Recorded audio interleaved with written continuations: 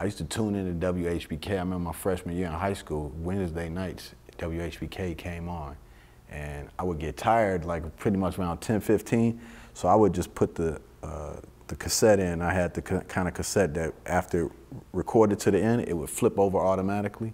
So I could just put the tape in and just record uh, JP Chill. And you know, he ran the station like a jazz show, you know, where he would play all the hip hop joints and he may get in the middle of the show and says, oh, we got an educational coming up, so he played a break beat. If you can tell me who made this break beat, you can win tickets to come down here and check out such and such or whatever. So HPK was definitely like a major, major, major influence as far as just being hip to all the B, the B-side records, you know, everything from, um, you know, the East Coast to the West Coast, Ultramagnetic to Too Short and everything in between, you know, you got from HPK. You know I mean? It was just like a, a, serious blueprint at that time to kind of, you know, kind of, it, it, it, it, gave me the knowledge of it, you know I mean, as far as the music was concerned. So.